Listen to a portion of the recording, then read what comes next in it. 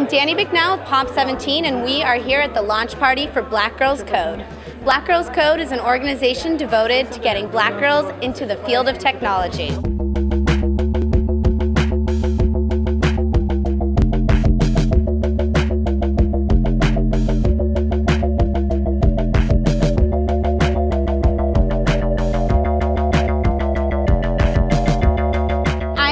Here with the founder of Black Girls Code, Kimberly Bryant. So, what is Black Girls Code?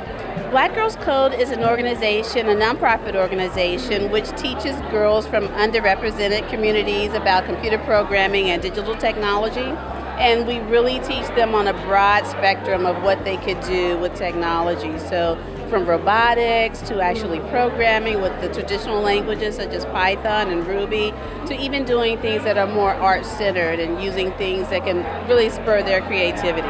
What are your goals for Black Girls Code? My goals for Black Girls Code is to really be able to expand our organization across the U.S. as well as outside of the country and really engage young women in exploring their interest in STEM fields, so science, technology, engineering, and math, mm-hmm. and giving them an opportunity to see where the opportunities are where they may not have seen them before. One really excited project, exciting project that we're doing currently is a national video game, which is a STEM challenge, and that is a national competition where kids can make video games that focus on a STEM topic, and they'll compete against other teams of kids their age um, all across the country. So we're really excited about having our girls participate in this program, and we're doing it in, in collaboration with ThoughtWorks, which is a technology company here in San Francisco. One of the things that's been wonderful about starting our program here in San Francisco Bay Area is that there are technology companies all around.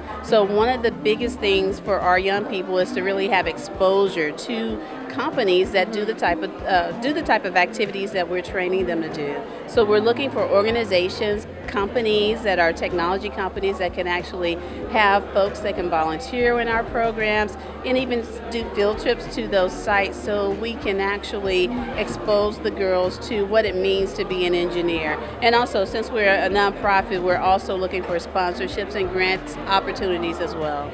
Well, you heard it here first. If you'd like to get involved, please look up Black Girls Code. It's an incredible organization, and thank you so much for having us. Thank you for coming.